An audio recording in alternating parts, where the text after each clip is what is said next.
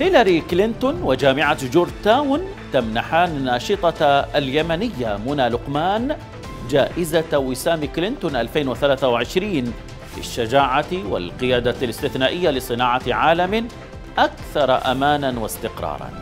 والناشطة منى لقمان من صناع التغيير والسلام ومؤسسة ورئيسة لمؤسسة الغذاء من أجل الإنسانية وواحدة من أهم المشاركات في تأسيس شبكة التضامن النسوي في اليمن.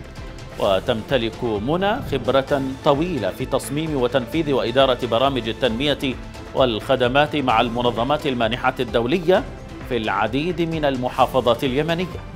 وشاركت لقمان في المحافل الدولية للمطالبة بإنهاء الحرب في اليمن وإشراك المرأة في صناعة السلام.